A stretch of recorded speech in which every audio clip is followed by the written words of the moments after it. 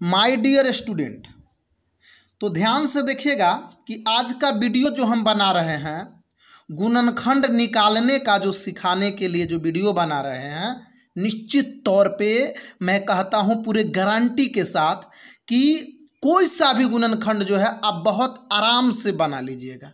कमज़ोर से कमज़ोर विद्यार्थी भी जो है आराम से क्वेश्चन को बना लेगा, गुणनखंड इजी तरीके से कर लेगा। लेकिन कब? जब उसको सही कॉन्सेप्ट मालूम होगा तब। इसके लिए पूरा डिटेल फुल ऑपरेशन करेंगे गुणनखंड का और इसके बाद कोई सा भी क्वेश्चन को आप आराम से बना सकते हैं। तो देखिए, हम एक क्वेश्चन लिए हैं, पहला है टू एक्स स्क्वायर प्लस पाँच एक्स प्लस तीन, है ना? टू एक्स स्क्वायर प्लस पाँच एक्स प्लस तीन। देखिए इसके ध्यान से इसमें कि सबका साइन इसमें प्लस है। इसमें सब क्या है? प्लस। जबकि एक और क्वेश्चन लिए हैं, इसमें देखिए यहाँ पे माइनस है। यहाँ भी माइनस हो सकता है। लेकिन प्लस वाला बहुत आसान होता है तो पहले प्लस वाला समझते हैं, फिर हम माइनस वाला भी समझेंगे।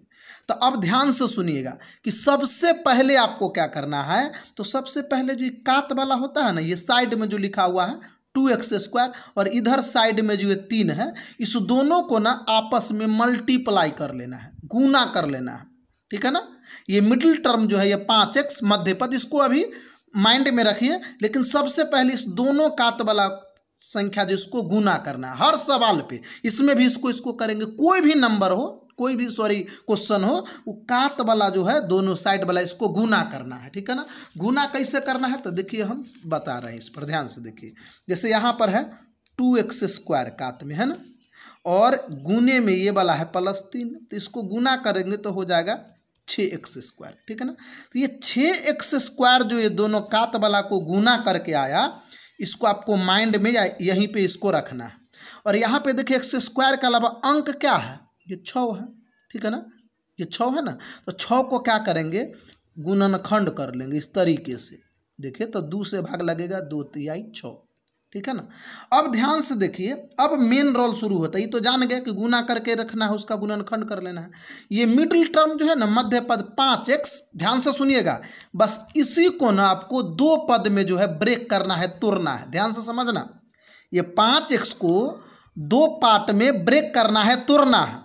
शर्त क्या है कि अगर ये पाँच एक्स को दो पार्ट में तोड़ेंगे तो फिर से जोड़ेंगे तो वही होगा पाँच एक्स लेकिन यदि गुना किए तो ये आना चाहिए सिक्स एक्स स्क्वायर ये वाला आना चाहिए। ध्यान से देखिएगा, ये आना चाहिए। यानी गुना करके सिक्स एक्स स्क्वायर आना चाहिए, और जोड़ के पाँच एक्स आना चाहिए।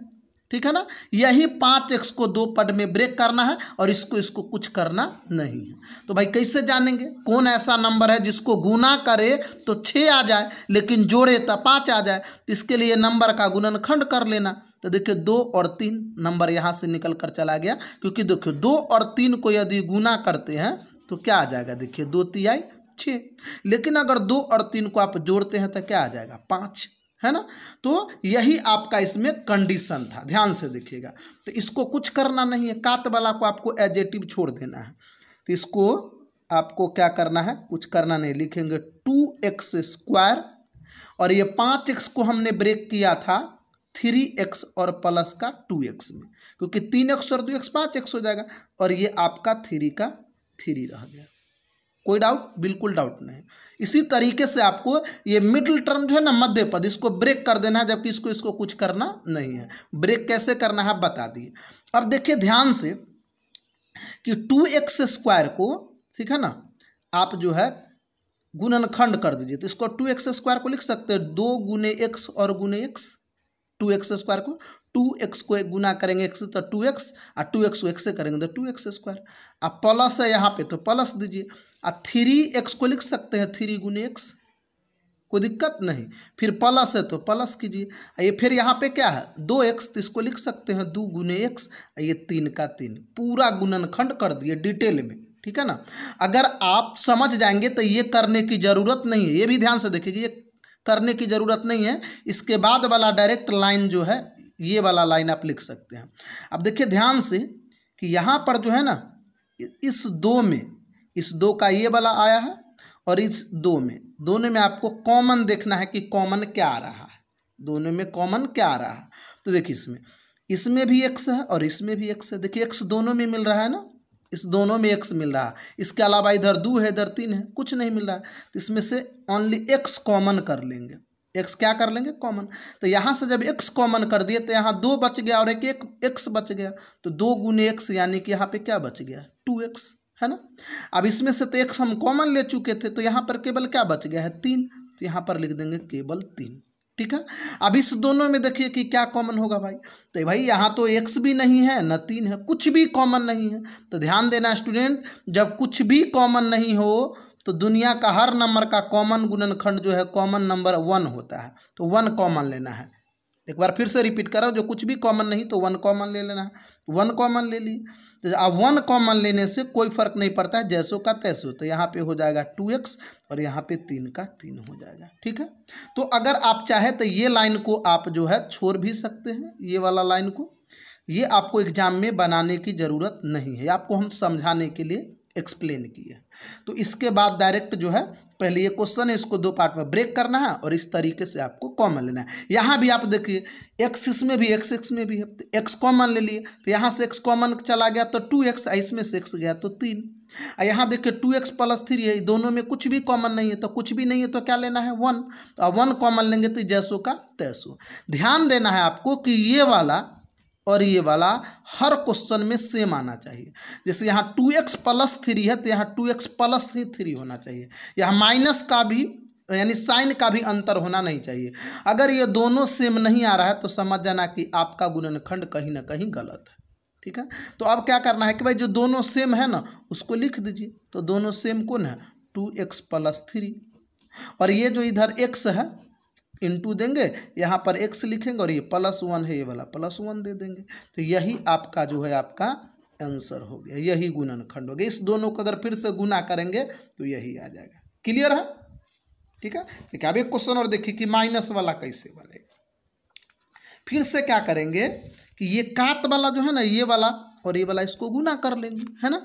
जैसे देखिए हम यहाँ पे करके बताते हैं। यहाँ पे सिक्स एक्स स्क्वायर है। और गुने में है माइनस तीन। तो गुना करेंगे तो माइनस का अठारह एक्स स्क्वायर हो जाएगा, है ना? क्या हो जाएगा? माइनस अठारह एक्स स्क्वायर। अब इसको मन में रखना है।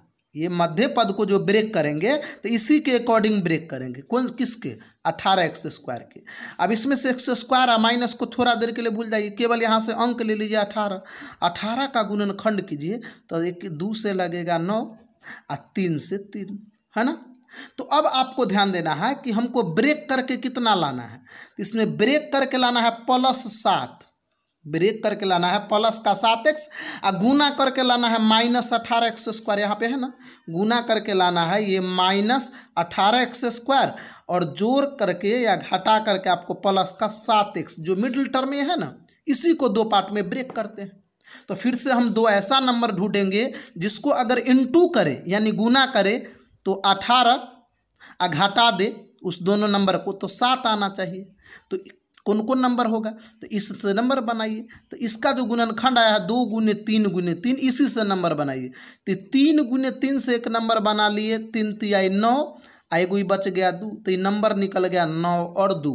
क्योंकि यदि आप ध्यान से देखेगा, नौ और दो को गुना करेंगे तो नौ दूनी कितना हो गया? अठारह। और नौ में से अगर दो आप माइनस करते हैं तो हो गया सात। यही कंडीशन था ना कि दो ऐसा नंबर बताइए जिसको गुना करेंगे तो अठारह और माइनस करेंगे तो होना चाहिए सात तो यही है नौ और दो, ठीक है? तो अब क्या करना है? इसको कुछ करना नहीं है, ठीक है? इसे कुछ करना नहीं है, यहाँ पे लिख देंगे सिक्स एक्स स्क्वायर दोनों कात वाला को कुछ नहीं करना है। और सेवन एक्स को हम क्या बोले प्लस का लिखेंगे नाइन एक्स और माइनस का टू एक्स। ध्यान दीजिएगा, बहुत बच्चा यहाँ पर इसमें माइनस कर देते हैं और इसमें प्लस कर देते हैं। तो आपको ही ध्यान देना है कि यहाँ लाना क्या है? Plus seven x. तो प्लस नौ एक्स में से माइनस टू एक्स करेंगे तब ना प्लस का सेवन एक्स आएगा। इसलिए साइन का भी ध्यान रखना है। अरे माइनस तीन का माइनस तीन। देखिए, दोनों कात वाला को कुछ नहीं किए हैं। तीन का तीन है छः एक्स स्क्वायर का छः एक्स स्क्वायर है। केवल जो मध्य पद है ना, इसको हम ब्रेक कर दिए हैं, ठीक है? अब इसको कॉमन लेना है तो डिटेल में हम बता देते हैं छः एक्स स्क्वायर को क्या क्या लिख सकते हैं? तो लिख सकते हैं, दो गुने तीन आ गुने एक्स गुने एक्स। दो तिहाई छः छः को एक्स से तो छः एक्स, आ एक्स को करेंगे छः एक्स तो छः एक्स स्क्वायर। और नौ एक्स को क्या लिख सकते हैं? तो तीन गुने तीन गुने एक्स, तीन तिहाई नौ आ एक्स को कर एक्स आ टू एक्स को क्या लिख सकते हो? टू गुने एक्स यहाँ पर तीन का तीन। कोई दिक्कत? बिल्कुल दिक्कत नहीं है। तो आप कॉमन कीजिए। हम बोले थे ना, ये लाइन आपको करना भी है या नहीं भी करना है। यानी इसमें, इस दोनों में कॉमन क्या आ रहा है? यानी यहाँ से यहाँ तक में कॉमन क्या आ रहा है? ध्यान से देखिएगा। तो देखिए, इधर तीन है तो इधर भी देखिए, ये वाला तीन और इधर भी एक तीन है। और एक्स इधर भी है और एक्स इधर भी है। यानी तीन और एक्स जो है वह कॉमन आ रहा है। तो यहाँ पर लिख देंगे तीन एक्स ठीक है? तो तीन एक्स को जब कॉमन कर दिए तो यहाँ क्या बच रहा है? टू बच रहा है और एक्स बच रहा है। तो टू एक्स यहाँ से तीन और एक्स कॉमन कर दिए तो क्या बच रहा है? यहाँ पे आपका थ्री बच रहा है। गुना करके भी चेक करके आपको देख लेना है। जैसे कि दो तिहाई छः एक्स स्क्वायर और तीन तिहाई नौ एक्स। अब इस दोनों में क्या कॉमन आ रहा है? तो यहाँ कुछ भी कॉमन नहीं आ रहा हम पहले बताए थे। लेकिन यहाँ पे क्या है? माइनस उस समय वहाँ माइनस नहीं था। तो आप माइनस वन कॉमन लेंगे। कुछ भी कॉमन नहीं है तो क्या लेना है स्टूडेंट्स वन लेना है। लेकिन यहाँ माइनस है तो माइनस लेकिन जैसे ही माइनस कॉमन लेंगे तो साइन बदल जाएगा। ये माइनस टू एक्स है तो हो जाएगा प्लस का टू एक्स, और ये माइनस तीन है तो हो जाएगा प्लस का तीन। देखिए दोनों सेम आ गया, टू एक्स प्लस थ्री और टू एक्स प्लस थ्री। बोले थे ना, ये सेम आना ही है। तो ये जो दोनों सेम है, उसको लिख दीजिए टू एक्स और प्लस का लिख देंगे थ्री, है ना? और इधर में थ्री एक्स माइनस का वन, यही आपका हो गया गुणन खंड ठीक है ना? तो आराम से इस तरीके से जो है आप गुणन खंड जो है निकाल सकते हैं। ठीक है स्टूडेंट्स फिर मिलते हैं नेक्स्ट वीडियो में। नए हैं तो चैनल को सब्सक्राइब ज़रूर कर